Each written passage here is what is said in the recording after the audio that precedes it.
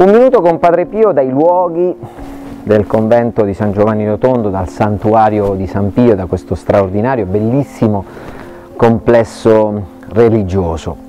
Eh, oggi vogliamo raccontarvi qualcosa di, come sempre, straordinario, ma noi non facciamo altro che riportare i fatti. Sono i suoi confratelli che parlano, ovvero scrivono e ci riportano alcuni episodi. Ecco, i confratelli di padre Pio da Pietrelcina. Padre Alessio racconta che un giorno entrò nella cella di padre Pio per accompagnarlo in sacrestia, perché era l'ora di scendere e confessare. Gli uomini erano circa le 14. Eh, appena aprì la porta della stanza per chiedere appunto eh, a padre Pio di scendere, eh, lo vide con un viso, eh, ecco, un viso quasi estasiato, luminoso, aveva un viso bellissimo, scrive eh, padre Alessio, tutto cielo, una bellezza unica, indescrivibile, ecco, mm, riporta queste parole.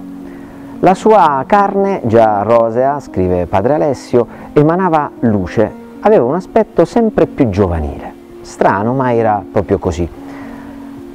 Una volta usciti dalla stanza si avviarono verso il, quindi la clausura, la rampa di scale che porta giù nella sacrestia mm, della chiesetta antica e Padre Pio ha quasi un malore, comincia a barcollare, eh, lo vide in faccia e si accorse che il suo aspetto era mutato. eh, aveva il volto scavato come quello di un crocifisso, eh, il suo passo diventava sempre più pesante. Ecco, Padre Alessio racconta che diventava quasi difficile ehm, sostenerlo, quasi stesse cadendo e cominciò a chiamare gli altri confratelli, datemi una mano, Padre Onorato, chiamò proprio Padre Onorato che si precipitò eh, per sostenere Padre Pio. Padre Alessio eh, appoggiò Padre Pio con le spalle al muro per sostenerlo perché effettivamente stava per cadere.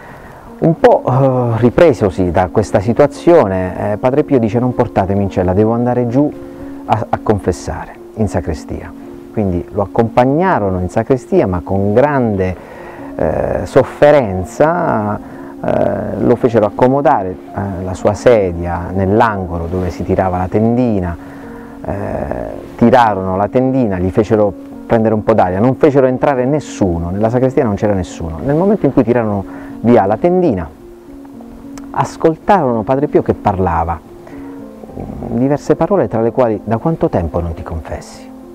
Perché i frati si guardarono tra di loro, ma qui non c'è nessuno, e poi ancora altre parole. Allora, al termine di questo piccolo momento, dirai cinque pater, quattro ave, Maria e due glorie al Padre.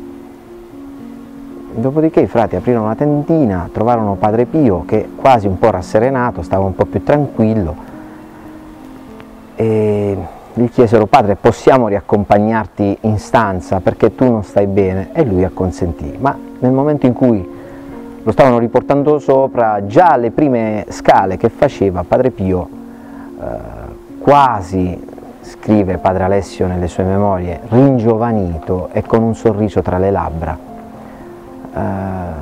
si riprese. E padre Alessio, raccontando questo episodio, conclude di questa particolare confessione che era stata fatta da padre Pio probabilmente in bilocazione.